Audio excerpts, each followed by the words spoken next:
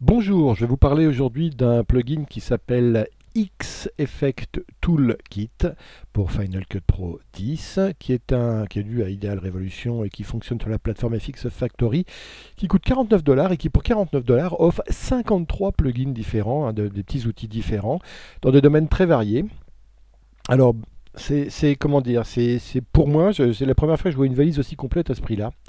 Euh, il y a de tout, hein, c'est-à-dire qu'il y a à la fois, euh, on va regarder ici ce qu'il y a, vous voyez, des effets euh, de perspective 3D comme ça, voyez, où il s'agit de, voilà, des spotlights, il s'agit d'éclairer une partie de l'image, un, un, masque à 8 points, des effets de gloss qui permettent de, jouer sur une partie de l'image, des effets sur la couche alpha, des auto-zoom, on zoome sur une partie de l'image, je vous montrerai. Bon, il y a tout ça, mais il y a aussi à la fois des effets qui permettent de faire du split screen, Hein, du tilt shift effect. Le tilt shift, c'est ce qui permet de, redimensionner. Enfin, vous verrez ce que c'est. Moi, j'utilise beaucoup, notamment dans des, dans des timelapses. Euh, il y a un outil aussi de correction des ciels assez rapide. Il y a des générateurs de, décompte, par exemple, 15 web, etc., euh, de plusieurs sortes. Et il y a des, effets aussi. Il y a un adjustment layer, quelque chose d'assez utile qui permet de mettre un effet sur plusieurs clips à la fois.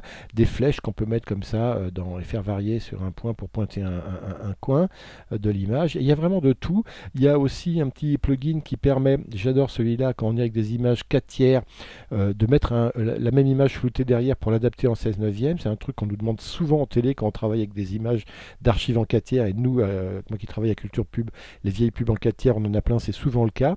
Donc ça, ça permet de faire très vite euh, quelque chose qu'on doit normalement ajuster à la main, qui prend plusieurs, enfin, plusieurs dizaines de secondes. Il y a aussi un, sous-titre, hein, un générateur de sous-titres qui est très utile, qui, qui s'adapte automatiquement avec un cadre derrière, hein, qui à lui seul, normalement, par exemple, est un plugin payant de chez Crumple Pop qui vaut à lui seul 40 dollars ou 30 dollars, je crois. Et là, il est inclus dans, le, dans un ensemble d'outils où il y a au total 53 outils, voyez. Alors, de quoi faire des split screens horizontaux, verticaux, etc. un effet d'analyse de l'image en deux parties ou un effet de widescreen comme ça. Alors, je ne vais pas entrer dans le détail de tout, parce qu'il y en a vraiment 53 très différents, chacun s'ajuste de manière très fine, mais je les ai utilisés sur des images, et je vais montrer, on va essayer de, faire le tour des images sur lesquelles j'ai utilisé. Alors d'abord, j'ai mis un petit décompte en avant de mon film, comme ça, sur 10, vous voyez, 9, 8, 7, il y en a plusieurs genres, il y en a un avec une horloge, il y en a un autre comme ça, avec euh, cet effet de, décompte, 3, 2, 1 est en noir, et paf, on part dans l'image. Là, le premier effet que j'ai appliqué, c'est, euh, vous le connaissez, c'est un effet de 3D perspective Hein, qui en mouvement permet de faire bouger une fenêtre comme ça vidéo. Hop, et si on met un fond derrière, ça permet euh, d'ajuster une image. Hein, c'est un effet assez utile. Euh, qui, bah, lui, c'est pareil, c'est un plugin que j'ai vu vendu indépendamment pour une vingtaine d'euros à lui seul, hein, cet effet-là, qui, est complètement paramétrable et le mouvement ici, bien évidemment. Alors ici, c'est un effet d'image dans l'image où je m'amuse. Ici, l'effet, c'est un filtre en fait que j'ai mis. J'ai utilisé le, filtre à, 8 points pour découper une image de, filtre solaire et de la mettre par-dessus euh, une image avec un désert et un rail au milieu. Donc je pars dessus le rail, j'ai fait entrer euh, l'image qui est filtrée avec un masque à 8 points comme ça. Donc voilà l'effet que ça donne par exemple. Hein, vous voyez, on peut faire un effet comme ça avec un masque à 8 points, mais on aurait pu par exemple aussi découper ce camion.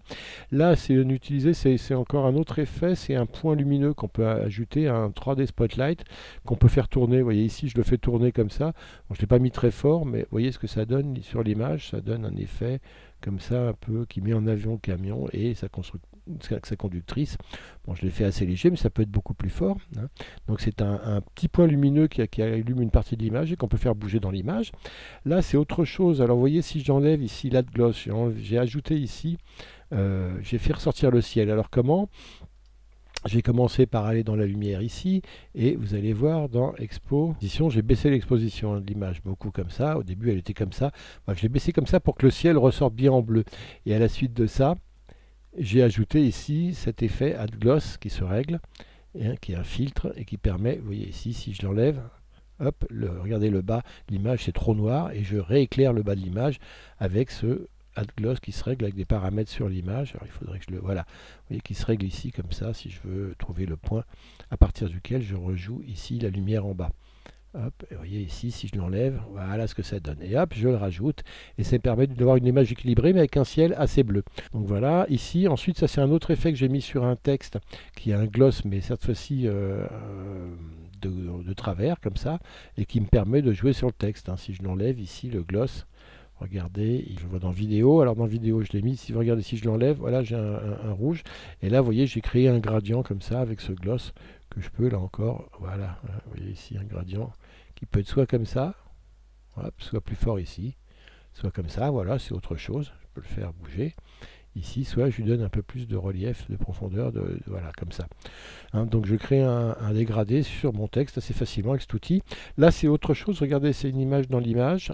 Je vais jouer ce qu'ils appellent un fa ajuste. Donc je rejoue sur la taille de l'image et j'en ai une autre derrière, ce qui me permet de faire apparaître une image dessous, la première, comme ça. C'est une espèce d'image dans l'image qui se règle assez facilement également. Là, ici, ce que j'ai fait, c'est un zoom c'est un zoom, regardez sur l'œil qui, qui démarre à la fin comme ça. C'est un petit effet de zoom où j'avance comme ça. Alors ça serait que je peux le faire beaucoup plus fort, mais là j'ai choisi de le faire légèrement. Il commence ici, mon zoom, et hop, je l'ai réglé, vous voyez, sur l'œil ici. Le point d'œil, vous voyez qu'ici ça va zoomer dans l'œil, ça me fait un effet. Si j'enlève le truc, regardez, moi je trouve ça assez léger et en même temps c'est sympa comme effet. Hop, un petit zoom à la fin. Là, c'est un effet qui s'appelle Channel Swap. Et regardez ici, j'ai mis tout sur bleu, à part le bleu que j'ai mis sur couche alpha. Hein, mais j'aurais pu le régler différemment. Par exemple, j'aurais pu remettre là sur bleu, et par contre ici, mettre sur vert, régler sur vert, celui-là sur vert, mais par contre le vert, le mettre lui en couche alpha et ça me donne une tonalité verte pas très, pas très belle d'ailleurs. Voilà, ça aurait pu être comme ça en vert. Hein, donc ça voilà, c'est un autre effet. Qu'est-ce qu'on a? Alors ici j'ai joué sur the glow edge, c'est-à-dire que ça ajoute du glow, de l'éclat sur le bord de l'image. Vous voyez ici par exemple. Et j'en joue en, mettant des points clés pour le mettre plus ou moins fort. Donc je le fais au milieu, donc je fais apparaître et disparaître cet effet de glow sur les, bords. Hop, regardez ce que ça donne, notamment sur les, petites, les petits trucs ici. Je vais baisser le son là. Regardez encore une fois, Glow Edge. Voilà ce que ça donne. Ici, c'est la même chose avec un scintillé des étoiles, un filtre en étoiles. Ici, vous voyez ici, comme ça. Celui-là, il s'appelle Glow Star. Et regardez, c'est un éclat en forme d'étoile que j'ai ajouté au milieu et qui disparaît à la fin. Donc, je vais essayer de le faire pas trop fort pour que ce soit quand même, l'image soit quand même... Euh, là, c'est... Regardez, c'est autre chose. On joue sur le dédoublement lens doubleur. Hein. On fait un dédoublement d'image, regardez comme ça, avec la couleur. Et c'est bon, voilà, c'est un effet qui se règle et qui peut être utile. Voilà, bon. Là, regardez ce qu'on a fait. On joue avec le canal alpha ici. Regardez, make alpha. On joue sur le canal alpha d'une image pour la mixer avec celle qui est en dessous. Alors regardez ce que ça donne. Hein, et je le fais de manière dynamique hop, avec des points clés, et voilà, ça me permet de mixer deux images comme ça. Là, c'est autre chose, c'est un PIP, donc ça veut dire qu'on met un picture in picture, donc on crée, on crée, une image qu'on met à l'intérieur de l'autre, hein, cette petite image avec un cadre blanc, que l'on insère dans l'autre image, et on fait bouger sa position, voilà, donc ça, ça donne ça. Voilà, ici. Hein. Ici, c'est autre chose, on fait apparaître un titre ici, alors l'effet s'appelle picture push-up, on, on pousse l'image vers le haut, regardez. Hop, pour faire apparaître euh, une information. Ici, c'est un centre de formation, c'est là que ça se passe. Voilà, je fais vers le bas. Ça, c'est une caméra thermique euh, qui se règle. Hein. Alors, on règle tout, la couleur, le, les défauts, le, défaut d'aspect, la, la, colorimétrie, la date, tout ça se règle. Ça fait caméra de surveillance, un filtre de caméra de surveillance qui peut être utile si vous avez besoin de créer cet effet un jour. Là, c'est un effet, de redimensionnement de l'image qui s'appelle euh, le shrink back. Hein. donc, voilà, je m'amuse à je peux avoir quelque chose en dessous, un fond, hein, ça me permet de faire bouger l'image de façon dynamique comme ça, hop. Et là, c'est un effet où je joue sur quatre images. Hein. c'est un shrink back, euh, c'est un, quad, donc j'ai quatre images que je fais évoluer comme ça, hop. Voilà. Ici, je vais avoir alors là, c'est le ciel sur lequel j'ai joué. Regardez si j'enlève cet effet Sky Shadow. Très vite, je mets un ciel pour... Euh, voilà, j'avais une image ici. forcément, la luminosité, elle est plus forte en haut pour le ciel. Moi, j'ai envie de faire ressortir les couleurs du ciel. Donc, je vais mettre un gradient qui s'applique rapidement. Ici, c'est un gradient qui permet ici de faire ressortir le bleu du ciel. Et ce bleu, il se règle ici. Voilà. Donc, je peux l'ajuster. J'aurais pu mettre un bleu plus... Euh, plus, un peu plus bleu du matin, bleu ciel comme ça, voilà, qui est joli aussi. Hein. N'empêche que si j'enlève ça, regardez, j'avais pas du tout cette image-là. Et là, très rapidement, en jouant sur hein, les deux paramètres ici, j'arrive à ajuster comme ça mon bleu ciel. Voilà, comme ça, je trouve qu'il est pas mal. Alors ensuite, ici, j'ai un... Voilà, pareil, la même chose que tout à l'heure à quatre images, mais là à deux images, regardez ce que ça donne. hop, ça permet de, hop, voilà. Là, j'ai mis un effet tilt shift. Hein. Vous voyez ce que c'est? C'est un flou euh, sur le haut et le bas de l'image. Et ici, le, milieu de l'image qui est. Et ce qui permet de concentrer l'attention sur une partie de l'image. Et notamment de miniaturiser aussi si on est sur. Euh, si on applique ça sur un, plan très large, ça, fait. Voilà. Et on peut régler le taux de blur ici. Et puis on peut également. Voilà, régler ici les points Hein, de bleu à partir de quelques ça se règle. On peut les faire de travers également, je peux le faire comme ça. Voilà. Appliquer sur ce train le plan de tilt shift. Ici, ce que j'ai mis, c'est un chose qui joue sur les blancs et sur les noirs très rapidement et qui permet de faire cruncher, de, donner du peps à l'image. Regardez, sans euh, mon réglage rapidement et avec le réglage ici. Hein. vous voyez, je joue sur les crunch black, les leaf black, l'escalier. C'est une manière de jouer sur les courbes de couleurs hein, pour donner un peu peps à l'image de manière rapide et en jouant sur autre chose que sur les courbes de, luminosité, de colorimétrie. Hein. c'est des, réglages plus euh, spécifiques de lumière qui permettent rapidement de donner du peps à une image. Regardez ici. En plus, c'est une belle image. Hein, et regardez sans ce que ça donne. Voilà, ça c'était beaucoup plus, hein, quand même plus sympa comme ça. Euh, voilà. Ici, j'ai joué sur le thermal, une image thermale, comme si c'était ça réagissait à la lumière. J'ai fait varier un petit peu de manière dynamique les couleurs. Et regardez ce que ça donne. Voilà, ça donne un petit aspect un peu surréaliste, astreint. Ici, alors j'ai mis un adjustment layer, c'est-à-dire que c'est un effet que j'ai mis ici dans le. C'est une couche en fait sur laquelle à départ il n'y a rien. Si je l'enlève, il n'y a rien. C'est-à-dire que l'image sans ou avec, c'est pareil. Simplement, je mets un effet dessus et cet effet, je le fais varier sur deux clips à la fois. Ça m'évite de mettre l'effet sur les deux clips. Regardez, je le mets sur Adjustment Layer et je peux le mettre aussi, je peux le faire aller simplement jusqu'au milieu du clip cet effet. Si je tire ici, regardez, j'ai l'effet, hop, qui va se couper. Hop, il se coupe au milieu du clip l'effet de chaleur que j'ai ajouté sur Adjustment Layer.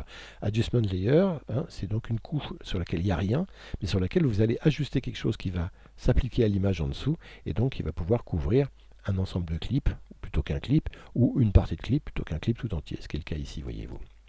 Alors ça, ici, c'est autre chose qu'on applique ici, c'est dans les effets de, titre cette fois-ci. Là, on, fait, on, applique un, masque un petit peu de, assombrissant hein, sur la partie gauche de l'image. Ça pourrait être sur une autre partie, puisque ça se règle avec ces petits points que vous voyez ici. Et ça permet ici de, bon, bah voilà, créer un effet sur lequel on peut venir, mettre un texte, par exemple sur la gauche. Là, vous le voyez, c'est un effet euh, ici de texte et de flèche qu'on peut mettre et faire bouger ici dans l'image. Hein, et hop, qui suit comme ça. Voilà. Donc là, ça pointe ma, mon outil, là, la roupelle.